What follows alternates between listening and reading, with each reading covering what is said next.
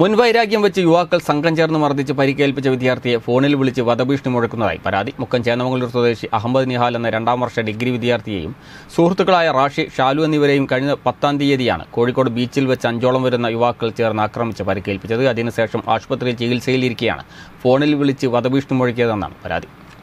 രണ്ടാം വർഷ ഡിഗ്രി വിദ്യാർത്ഥി മുക്കം ചേന്നമംഗലൂർ സ്വദേശി അഹമ്മദ് നിഹാൽ സുഹൃത്തുക്കളായ കൂടഞ്ഞ് സ്വദേശി ഷാലു ഓമശ്ശേരി സ്വദേശി റാഷി എന്നിവരെയുമാണ് കഴിഞ്ഞ പത്താം തീയതി കോഴിക്കോട് ബീച്ചിൽ വെച്ച് അഞ്ചോളം വരുന്ന യുവാക്കൾ മാരകായുധങ്ങൾ ഉപയോഗിച്ച് ആക്രമിച്ച് ഗുരുതരമായി പരിക്കേൽപ്പിച്ചതെന്നാണ് പരാതി.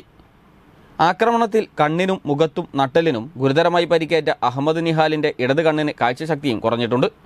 ഷാലുവിന് തലയ്ക്കും മുഖത്തുമാണ് പരിക്ക്. സംഭവത്തെക്കുറിച്ച് ഇവർ പറയുന്നത് ഇങ്ങനെ. ഞാൻ ഒരു മൂന്നെല്ലാം മുന്നേ എന്റെ ഒരു ഫ്രണ്ട് ഉണ്ട് ഇനി ട്യൂഷനിൽ പഠിക്കണ്. അപ്പോൾ ഓളിനോട് പറഞ്ഞ് ഒരിടത്ത് തന്നെ വിളിച്ച് ശല്യം ചെയ്യുന്നുണ്ട്. ഓരോന്ന് പറഞ്ഞിട്ട് അങ്ങനെ ഞാൻ എനിക്ക് ഞാൻ ഇൻസ്റ്റയിൽ മെസ്സേജ് അയച്ച് ഈ കാര്യം പറഞ്ഞു ഇങ്ങനെ ചെയ്യരുത് ആക്കരുതെന്നൊക്കെ അപ്പോൾ അന്നത് കഴിഞ്ഞ്.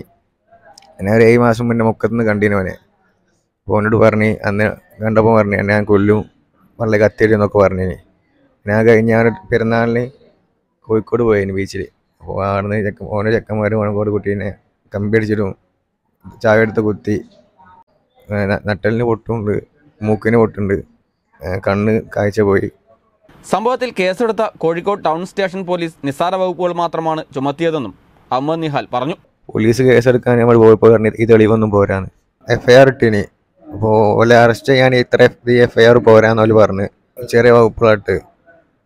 നട്ടലിന് പൊട്ടുള്ളൊന്നും ഇട്ടിട്ടില്ല ആക്രമണത്തിന് ശേഷം കോഴിക്കോട് മെഡിക്കൽ കോളേജിൽ നിന്നും ചികിത്സ കഴിഞ്ഞ് വീട്ടിലെത്തിയ അഹമ്മദ് നിഹാലിന് ഗുരുതരമായ വേദന അനുഭവപ്പെടുകയും തുടർന്ന് മുഖത്തെ സ്വകാര്യ മെഡിക്കൽ കോളേജിൽ നടത്തിയ പരിശോധനയിലാണ് നട്ടലിന് പരിക്കുള്ളത് കണ്ടെത്തിയത്. ഇപ്പോഴും അഹമ്മദ് നിഹാൽ ചികിത്സയിലാണ്. News bureau Mukkam.